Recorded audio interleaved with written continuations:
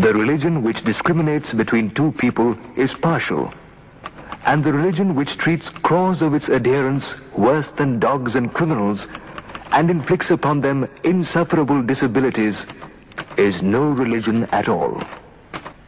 Religion and slavery are incompatible.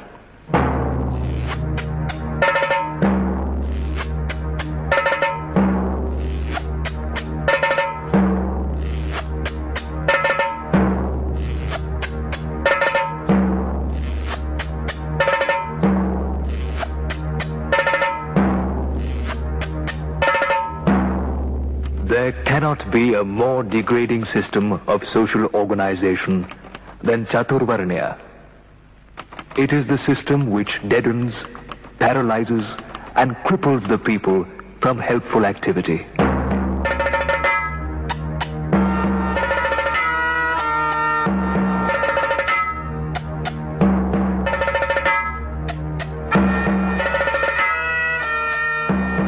For centuries, they lived like this, in perpetual penury and social slavery. They were at the bottom, a part of the Hindu social order, and yet they were forced to live away from habitation. The untouchables of India, the pariahs of Hindu society, their humiliation and degradation ordained by Manu, the great lawgiver.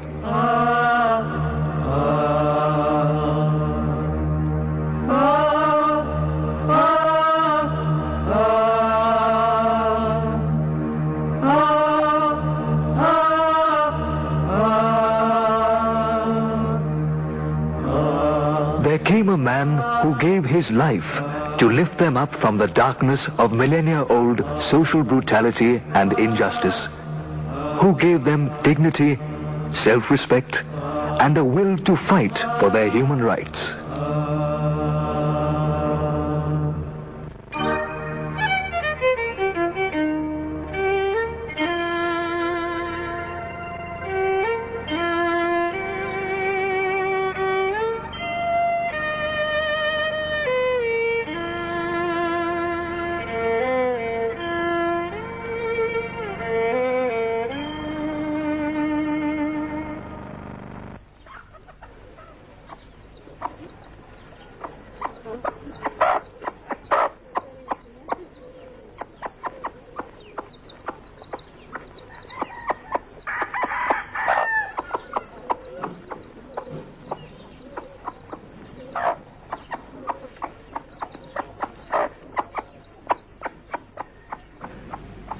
His decrepit ancestral home at Ambadve in coastal Kolaba district of Maharashtra and the stark locality and side tombs of his ancestors at nearby Dapoli may have a story to tell.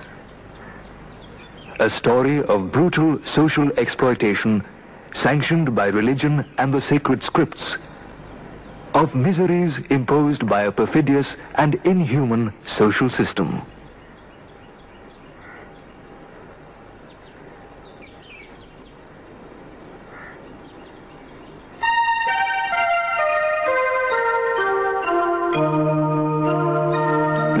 Has it that a spiritual ancestor blessed Ramji and his wife Bhima that they will bear a son. A son who will brighten the dark horizon of his people.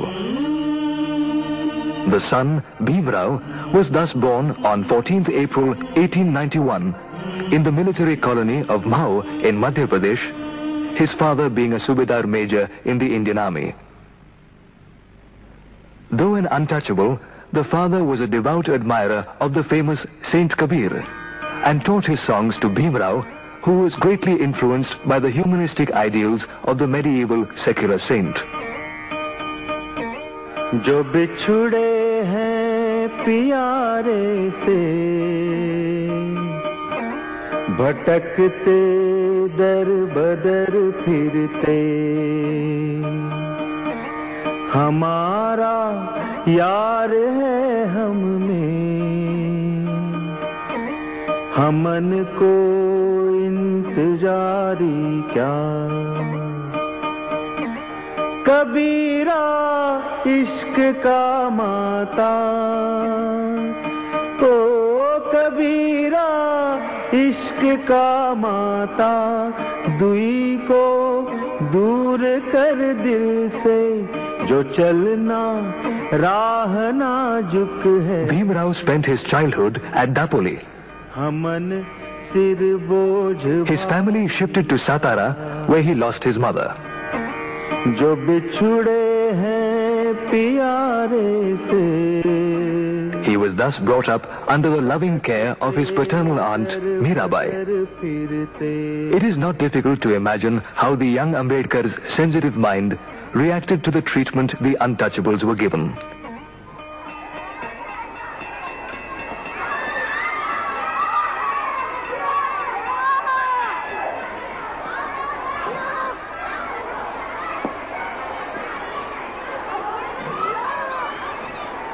In school, the teachers were kind and compassionate. One of the Brahmin teachers was fond of young Bhim and was so impressed by his intellect that he lent his own name to the young student. And thus, Bhimrao Ambadavekar became Bhimrao Ambedkar.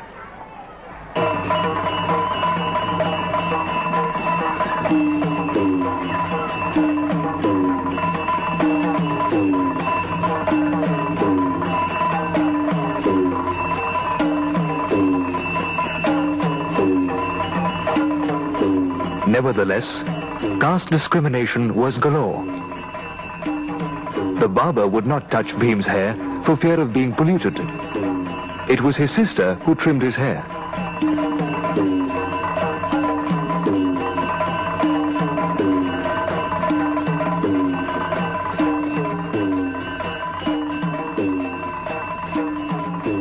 Bhim and his brother were made to sit outside the class on gunny cloth, for they felt their touch would pollute the other high caste students and the teachers. Bhim could not drink water from the common pitcher. Learning Sanskrit was taboo for the untouchables. The orthodox teachers dared not allow young Bhim to learn the language of the Vedas. Later, in the cosmopolitan Elphinstone School at Bombay too, Bhim had to suppress his fervent desire to study Sanskrit and was forced to take Persian instead.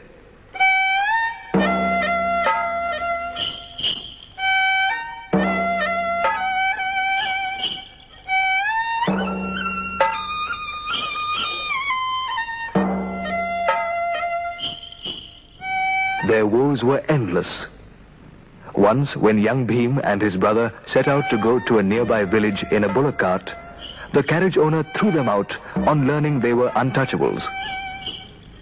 On the way, no Savarna would serve them water to quench their thirst. Go away, go away, people said, and asked them to drink from a filthy wayside pool.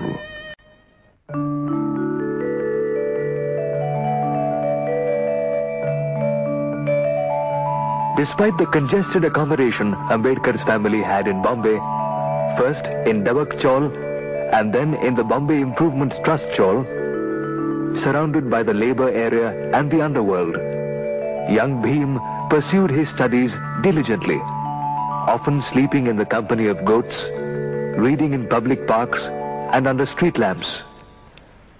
Once, when Bhimrao was asked by the teacher to solve an example on the board, the panic-stricken Savarna boys scrambled first to remove their tiffin boxes from behind the blackboard to prevent them from being polluted. Turn in any direction you like. Caste is the monster that crosses your path. You cannot have political reforms unless you kill this monster. Ambedkar was married immediately after his success in the matriculation examination in the Byculla public vegetable market. The age of the groom, 17 years, and the bride Ramai, 9 years. Education continued.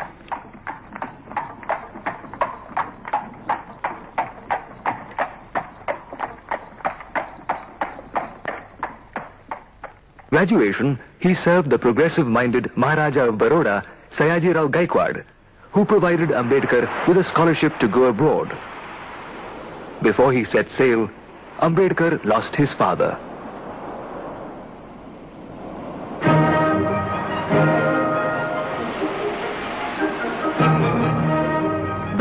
To the United States of America, the land of liberty and equality, the land of Thomas Jefferson and Abraham Lincoln, to pursue higher studies.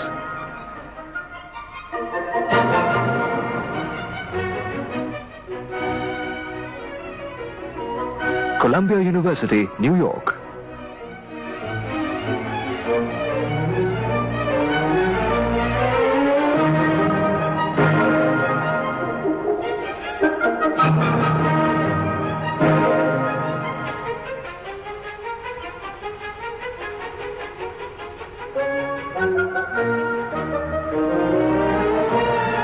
To begin with, he stayed at the Hartley Hall, the university dormitory, but the food did not suit him. And so he shifted to the Cosmopolitan Club, 114th Street, where most Indian students stayed.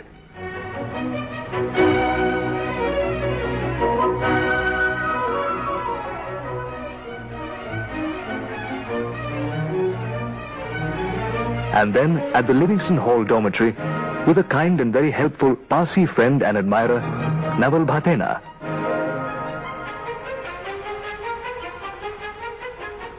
Political science, moral philosophy, anthropology, sociology, and economics were his subjects of interest in Columbia, where he could quench his thirst for knowledge in the libraries rich with books. Ambedkar had a passion for knowledge and an obsession with books. Above all, he knew he must study hard to fight his battles back at home. He drove himself to keep a punishing schedule, foregoing all the comforts, spending all of his time in libraries burning the midnight oil. Often he sustained himself on a loaf of bread and a cup of coffee. He had to save a considerable amount from his paltry scholarship to remit money to his family in India.